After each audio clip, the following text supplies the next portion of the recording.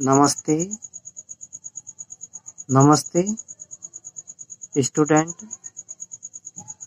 आज का हमारा टॉपिक है दो चरों वाले रेखिक समीकरण। यह कक्षा नौ का भी लेसन है पूरा का पूरा, और रीट का भी यह एक टॉपिक है। तो इस वीडियो में हम इस पूरे लेसन को कवर करेंगे। चलिए हम शुरू करते हैं। दो चरों वाली रेखिक समीकरण का सार्वभौमिक सूत्र है। A X plus B Y plus C बराबर ज़ीरो।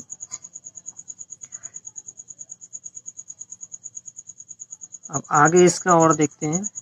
कि अपरिमित दो चरों वाली रेखिक समीकरण में अपरिमित रूप से अनेक हल होते हैं। यह समीकरण का हल करते हैं तो अनेक हल प्राप्त होते हैं। प्रत्येक प्रत्येक दो चर वाली रेखिक समीकरण का आलेख एक सीधी सरल रेखा प्राप्त होती है, यानी एक लाइन प्राप्त होती है। X बराबर ज़ीरो हो तो अगर समीकरण में x बराबर ज़ीरो हो तो y अक्ष का समीकरण होता है। तो वह समीकरण y अक्ष का होता है। यदि y बराबर ज़ीरो हो तो वह समीकरण x अक्ष की होती है।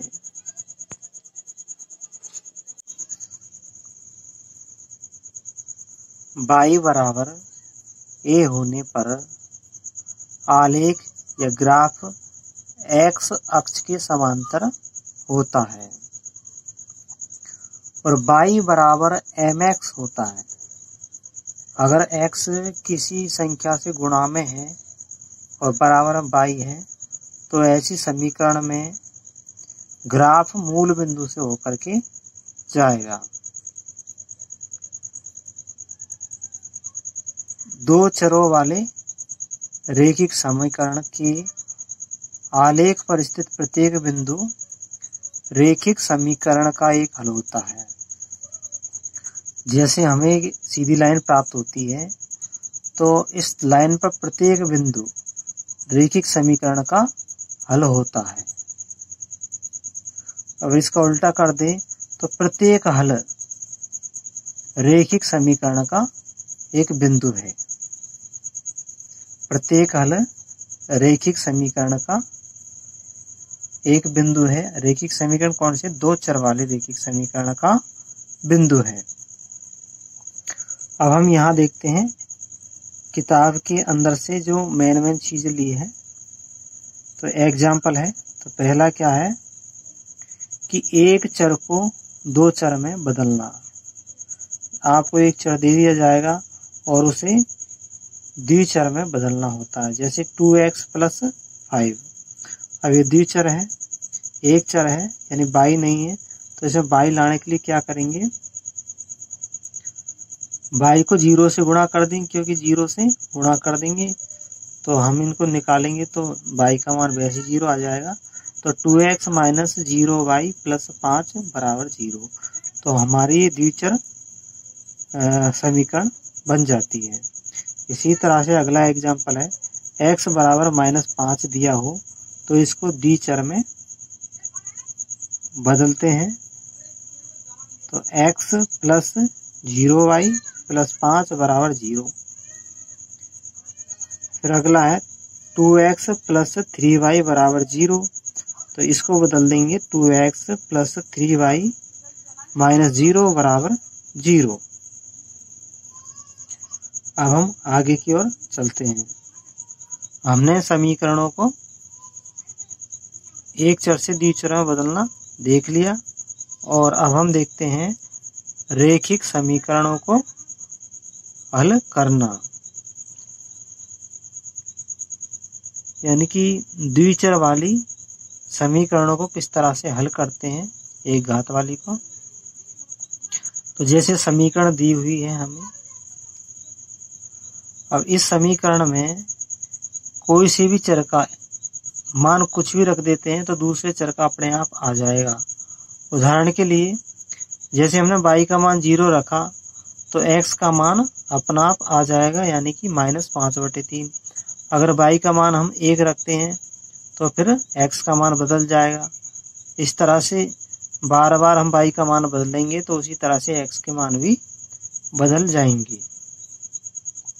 अब देखते हैं हम रेखिक समीकरण, यानी कि डी चर वाली एक घातीय रेखिक समीकरणों के आलेख किस तरह से प्राप्त होते हैं। तो इससे जो प्राप्त होंगे आलेख, यानी ग्राफ, वो सीधी रेखा होगी। चाहे सीधी रेखा यो मान सकते हैं, यो मान सकते लेकिन सीधी रेखा प्राप्त होगी। अब ऐसी स्थिति में अब इन समीकरणों से तीन प्रकार के हमें ग्राफ प्राप्त होते हैं। तो पहला ग्राफ, जब y बराबर के एक्स होता है तो हमें